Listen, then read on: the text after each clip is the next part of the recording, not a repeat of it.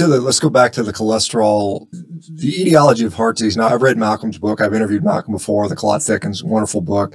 I learned quite a bit about that, particularly the role stress had on there, which I didn't give enough credit to. But our cholesterol is maybe not the primary driver of heart disease, which most lipidologists would say it is. Most cardiologists adamantly will swear up and down that ApoB is is the necessary and sufficient driver of atherosclerotic disease. And we're going to do everything we can to suppress that. The new recommendations from the, I think the AHA, American Heart Association, American Diabetic Association says they want diabetics to have an LDL below 70, which is about two, a factor of 38. So whatever that divided by 38, 70 divided by 38 is 1.8 or something like that. And they want their, if they've had a family history, they want it below 50. It's like 1.2 or something like some ridiculously low numbers. So what say you to the folks that, that are swearing up and down that ApoB, LDL cholesterol, whatever proxy for that is the prime driver. It's necessary and sufficient. And all we need to do is just bottom it out as low as possible. Nonsense. okay, fair enough. but I suspect you probably want me to elaborate on that a little, Paul. I mean, that's just, just horribly simplistic. And it really is. Uh, the simple fact is that we've got very good prospective data now that demonstrates on average, people with the highest LDL levels live the longest. How on God's green earth can ApoB be such a problem? So we need to go back to biochemistry a little bit. And first of all, ApoB is a really imprecise term Mm. Because multiple multiple fragments, right? Yeah. Well, when we make cholesterol, how, where does LDL come from? First of all, we've got the liver. And just out of curiosity, I just, uh, I've been browsing through this the other day, old biochemistry textbook, and I was just thought, I wonder what they say about cholesterol synthesis. And they've actually got it absolutely correct. They just don't draw the conclusions correctly. But when you make, your liver makes something called VLDL, which is a large lipoprotein. And that is identified because it's got a single ApoB molecule on the surface. It's like a swipe card. Then that VLDL molecule goes through your circulation and it drops off some of its cargo because it's it's like a delivery truck. And some of that cargo includes triglycerides and cholesterol and it shrinks a little bit.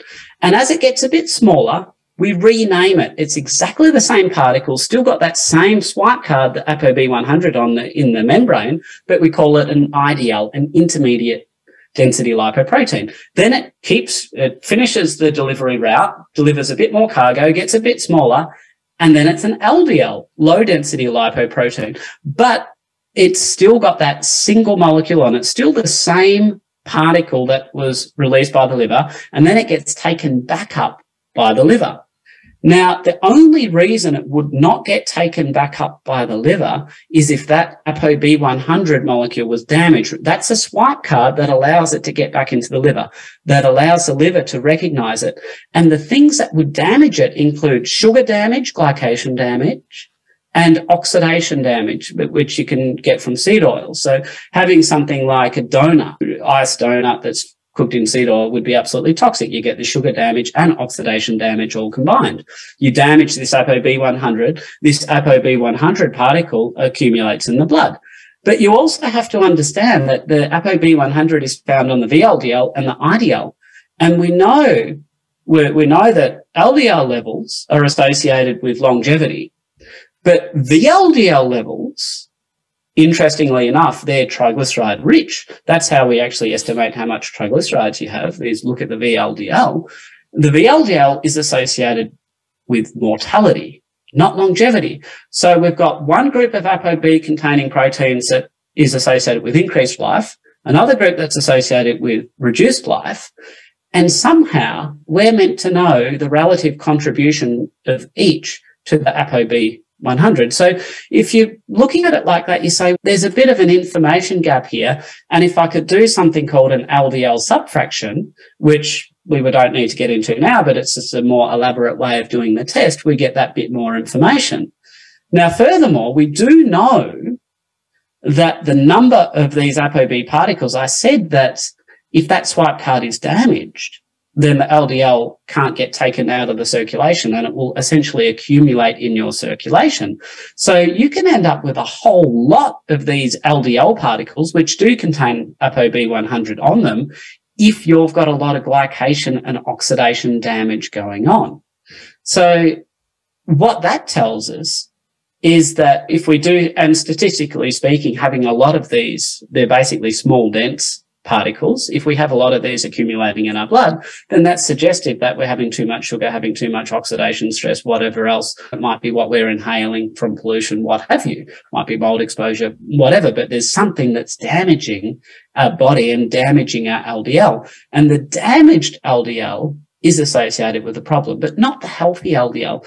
And that's the difference. If we're just measuring ApoB100, are we measuring the healthy ones? Are we measuring the unhealthy ones, damaged, undamaged? Are we measuring, do we know what's on LDL? Do we know what's on VLDL? This whole picture is just a little bit more complicated than these authorities who are telling us just to focus on one simple number are trying to make out and better than that. Yeah, I tend to think of it as a dependent variable. Let's assume that 60% of your LDL is damaged. Well, then in that situation, a higher number is going to be problematic. But if only 2% of your LDL are damaged, you can have a pretty high number and it not be significant. I don't know if you saw the recent study out of Denmark. It was one of the, one of the registry studies where they looked at part of the MESA grouping and they saw that if someone had a CAC score of zero, LDL score was basically irrelevant when it came to MESA and cardiac events. There was no correlation. Didn't matter if it was LDL 190 plus, which is considered very high in, in the US numbers, or very low. It had no bearing whatsoever. But so that showed to me that if you already have the environment, which perhaps damages LDL in place, then yes, it matters. But if it's not there, then perhaps it doesn't matter. Does that jibe with what you have studied? Yeah, I mean, it's absolutely context dependent.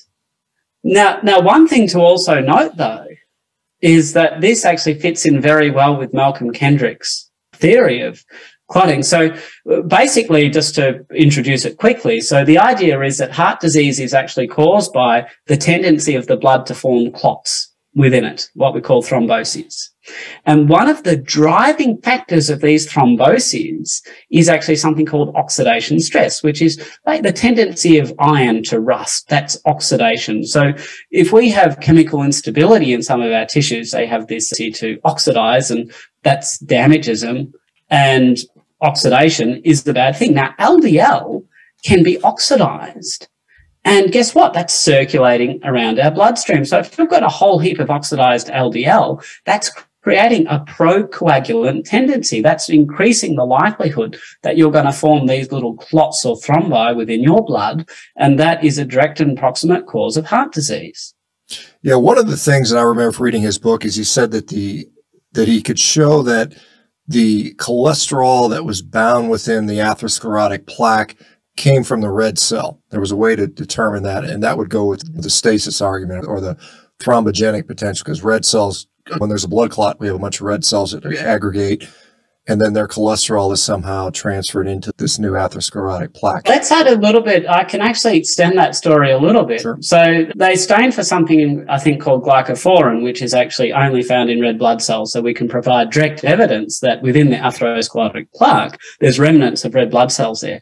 And we know that red blood cells one of the richest sources of cholesterol in the body. It's because the red blood cells, they're this funny shape. They have to be very flexible and malleable. Mm-hmm. And if they're not, they die. They get filtered out of the blood pretty quickly. So they need a lot of cholesterol. Now, remember, we're talking about these plant sterols before, these the phytocholesterol and these kind of things, fake plant cholesterol.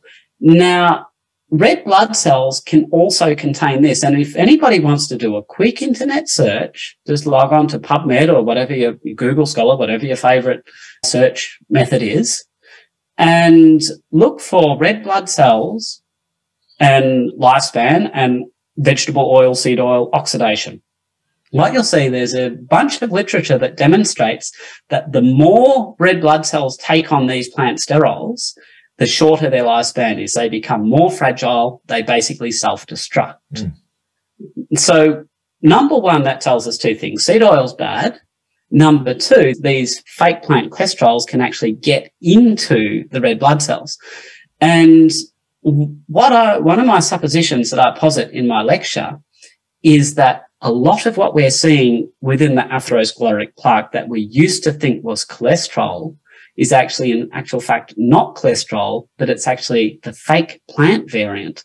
And the reason is when we actually look at it under a microscope and you see these little clefts where we say, oh, that's a cholesterol cleft, you're not actually looking at cholesterol. You're looking at the space where the cholesterol used to be, where it's been dissolved after chemical treatment. And it's very difficult for us to distinguish between actual human cholesterol and the fake plant variety.